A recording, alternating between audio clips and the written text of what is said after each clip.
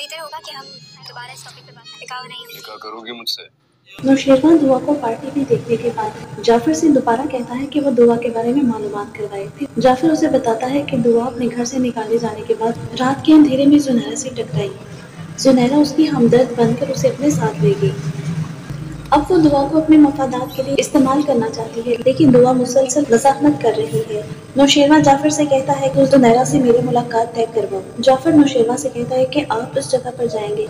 लेकिन नौशेरवा ने तो दुआ के लिए वहाँ जाना। अब वो उसे जुनैरा के पास तो नहीं छोड़ेगा। और जुनैरा जैसे लोगों को तो सिर्फ़ पैसों से गर्ज होती है। नौशेरवा दुआ से मुलाकात करेगा। दुआ नौशेरवा को भी ऐसा ही आदमी समझेगी जो कि उसकी कीमत लगाना चाहता है।